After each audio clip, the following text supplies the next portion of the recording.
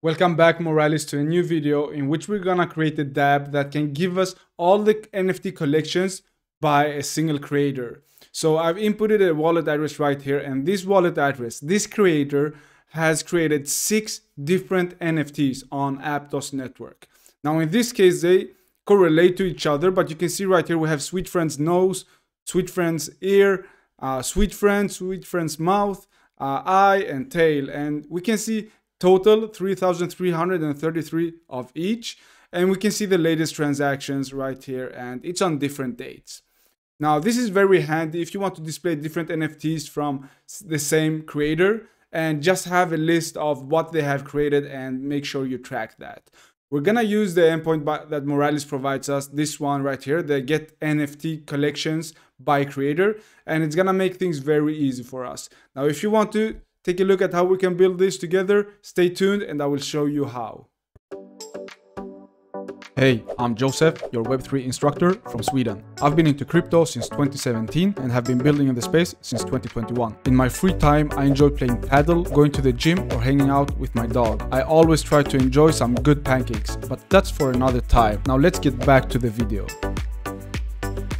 First things first, we're gonna need our Moralis API key to make these requests. So you're gonna have to have a Moralis account.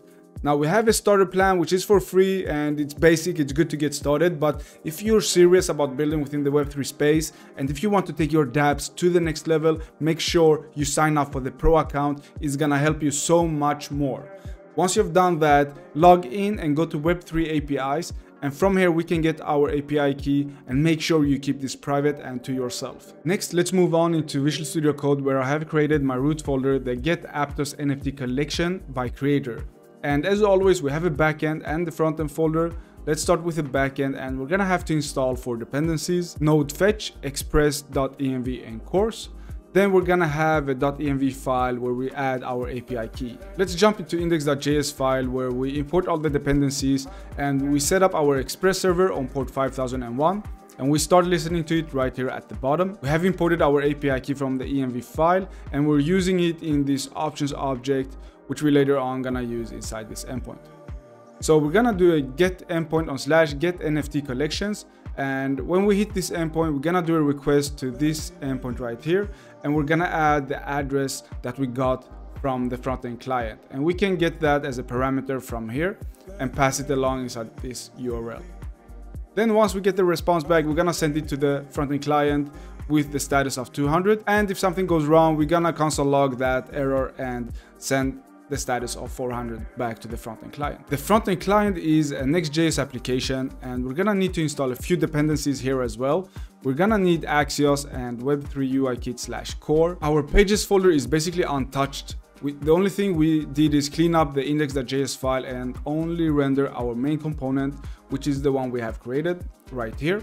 And from here, we have imported use state, Axios, image, card, our CSS file, and then the Aptos and the Moralis logo to display on the top left navigation bar. Then we are creating a few state variables. We have the wallet address, the result, show result, and collection image. We have two functions right here. First is the handle change, which we call when we start typing inside the input field. And when we do that, we set the state variable, the wallet address, by its set function and we're taking the value from the input field and we're storing it inside this variable right here. The second function is the handle submit which does a little bit more and we run this function when we hit the submit button. So the first thing we do is we empty the input field because we already have the data inside this variable right here that we stored. And then we do a, a request to the backend server using Axios on port 5001 slash get NFT collections passing along our wallet address. Then we have an empty array right here and we map through the response we got back and we want to get out the image of the NFT collection. That's the one we display right here. So how do we do that? First of all, you need to see how the response actually looks like. So if we go to the Moralis documentation for the get NFT collections by creator endpoint and we paste this creator address right here, we set the limit to 10 and then we can try this out from here. So once we do that, we're gonna get the response back and this looks very, very similar to the one we get. So this is within the results array and we can see all the collections right here. We have Sweet Friend's nose, Sweet Friend's ear, uh, we have the mouth, Sweet Friends, Sweet Friend's eye, and lastly the tail. So this is the six NFTs that this creator has created and we can actually verify that in Topaz website which is an Aptos marketplace website. We can see that there are six of these collections right here. So what you will see in Visual Studio Code is that we map through this results array right here and we get all the data we want to display. We're doing another thing and that is another request to this URL right here, which is the metadata URI. And we're doing this to get the image to display for this NFT. And when you go to this link, this is what you see right here. Let me zoom in a bit so you can see it clearly. You have all the metadata, you have the image, the image URI, the maximum number, the name obviously, and you have some social media uh, content as well and this is what we want to get to display the image this right here. So back to our code. First of all we can see that we set this result variable to response.data.result which is the exact array we just looked at. But before we do that we map through this results array and we get for every item in there the metadata URI and we do a request to that again using Axios. And from that response we push data.image to this array right here. And once this is done we push this whole array into the set collection image. And then we set show results to true. Now down here where we render everything we have the images the Moralis and the Aptos logo right here. We have the input field and the on change which calls the handle change function.